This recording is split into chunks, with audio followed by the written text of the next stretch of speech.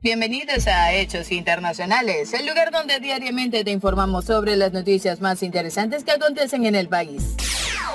Las noticias más importantes del día nos informan sobre una situación que, de ser cierta, pondría en una situación bien incómoda y peligrosa al gobierno de España.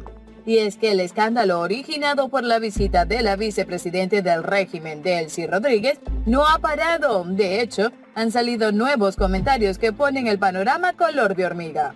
La gran controversia se armó porque algunas fuentes aseguran que Delcy Rodríguez fue la culpable que Pedro Sánchez no recibiera a Juan Guaidó. Y el gobierno de Pedro Sánchez respondió de inmediato a esta revelación. Todos los detalles te los contaremos de inmediato, así que quédate con nosotros hasta el final del video.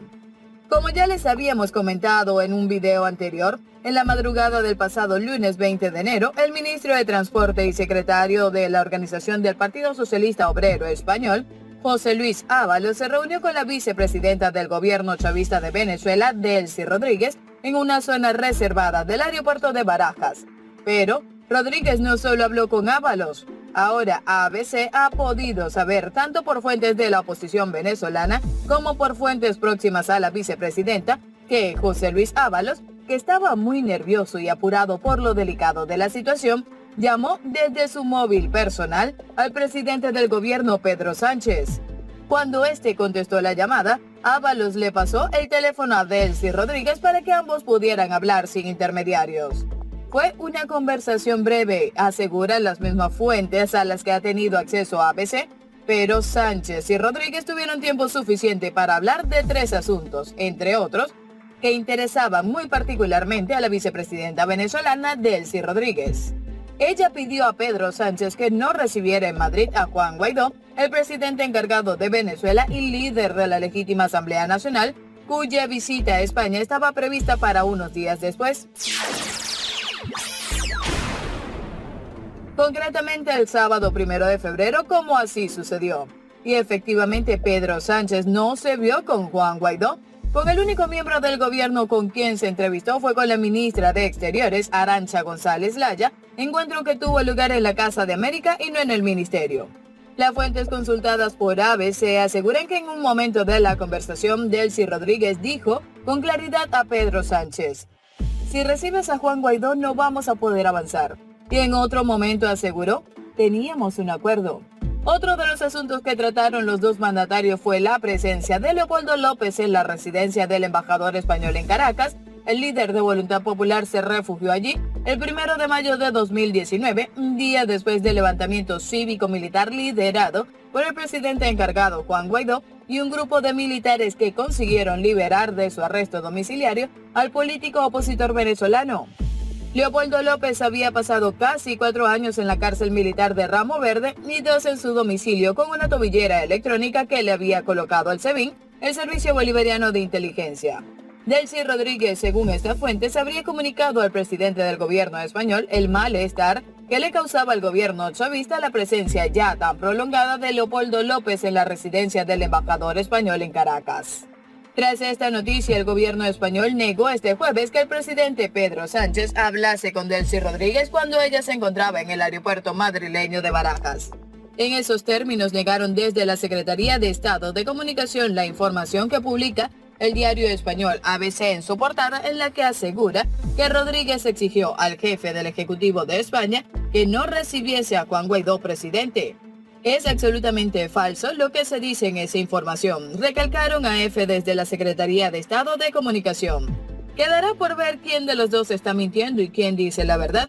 Mientras tanto, el régimen de Nicolás Maduro sigue cometiendo errores y sudando frío, y así fue que se vio el canciller del régimen, Jorge Arriaza, quien se tuvo que tomar un calmante antes de leer el comunicado del régimen tras el apoyo de Trump a Juan Guaidó.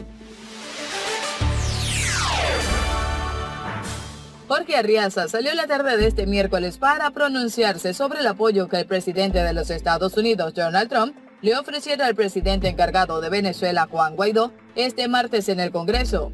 En una pequeña salida a los medios, Arriaza leyó un comunicado oficial del régimen rechazando la actitud y palabras de Donald Trump.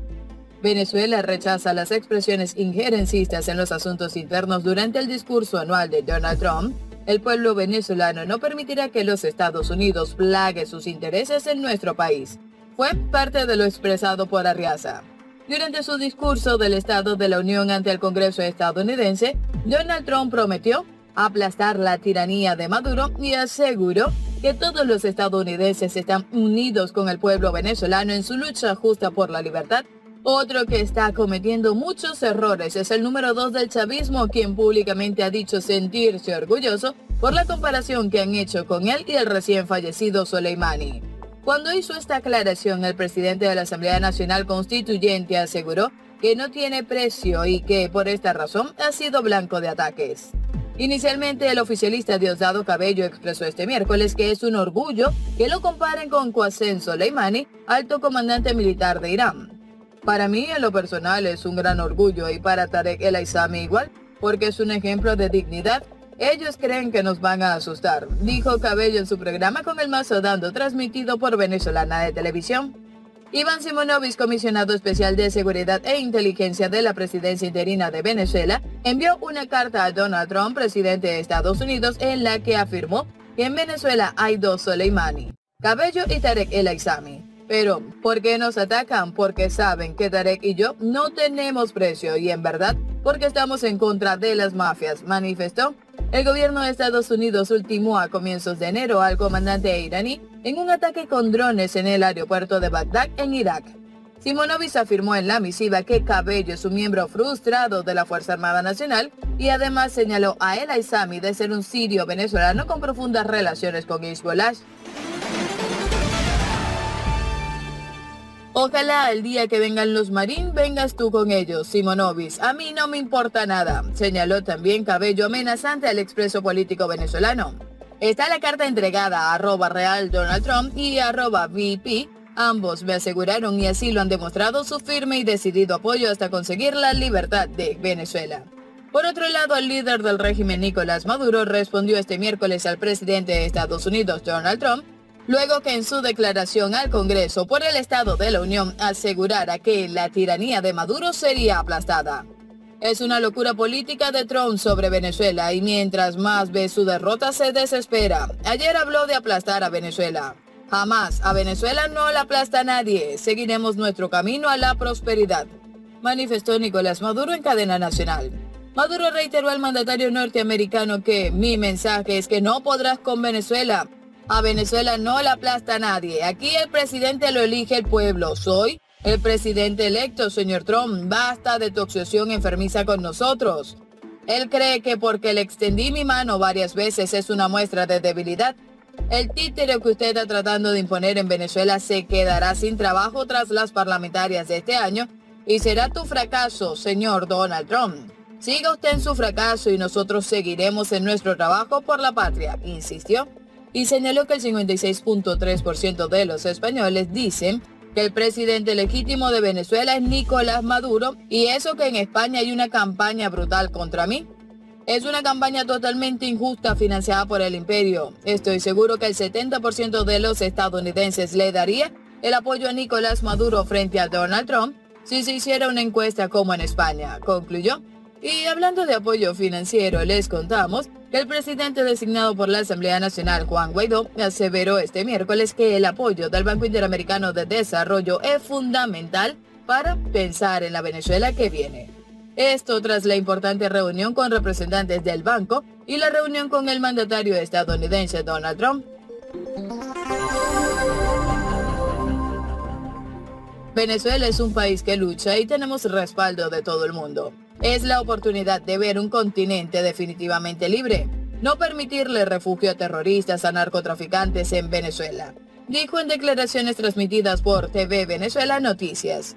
Y en otro video de TV Venezuela Noticias, Guaidó aseguró que regresará muy pronto a Venezuela. Recordemos que Juan Guaidó tiene prohibición de salida del país por parte del régimen de Nicolás Maduro y la expectativa por su regreso está a millón.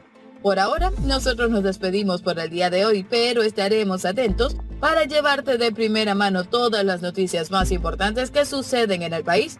Gracias por seguirnos diariamente y no olvides dejarnos tus comentarios. Esto fue Hechos Internacionales. Chao, chao.